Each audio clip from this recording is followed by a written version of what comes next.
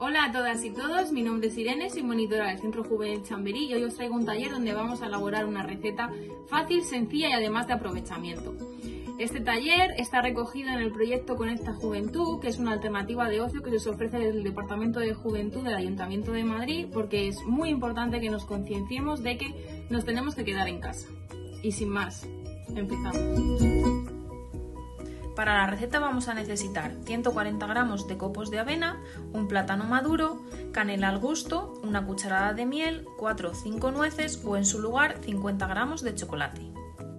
Depositamos los copos de avena en un bol y machacamos el plátano maduro hasta conseguir una papilla, que posteriormente añadiremos a los copos. Una vez añadido el plátano a los copos, vamos a mezclarlo todo bien hasta conseguir una mezcla más o menos homogénea.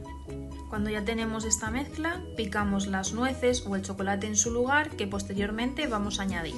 Picamos las nueces que queden bastante pequeñas y removemos.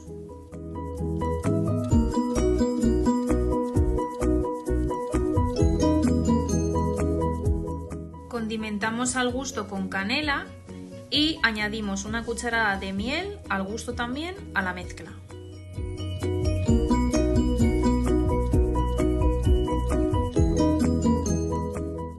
Último, ayudándonos de una cuchara, hacemos bolitas que depositaremos en una bandeja de horno, a la cual le hemos puesto una hoja de papel vegetal para que no se nos pegue.